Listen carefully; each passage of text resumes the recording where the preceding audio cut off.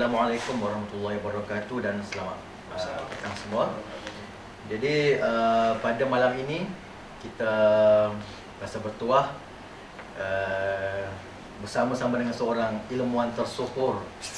Barangkali tidak perlu saya kenalkan siapa lagi Dr. Azhar Ibrahim, sudah kenal anak-anak muda semua.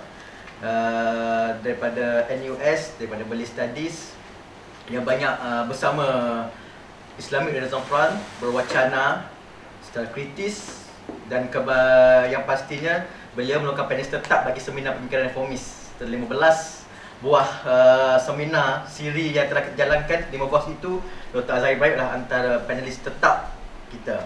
Jadi pada malam ini uh, kita akan membicarakan tentang buku salah sebuah daripada buku beliau yang bertajuk Contemporary Islamic Discourse in the Malay Indonesian World Critical Perspectives.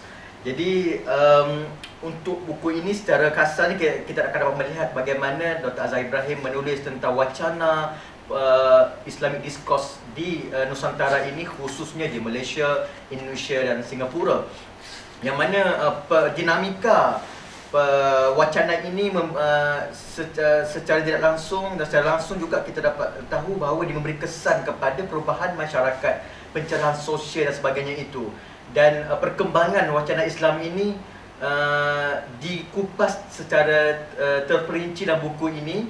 Jadi uh, saya tak nak buang masa bukan saya penulis pada malam ini Dr. Azhar yang akan membicarakan bukunya sendiri jadi uh, saya serahkan uh, program ini kepada Dr. Azhar terpulang Dr. Azhar untuk bicara dalam bahasa Inggeris atau bahasa Melayu. Dipersilakan. Ya.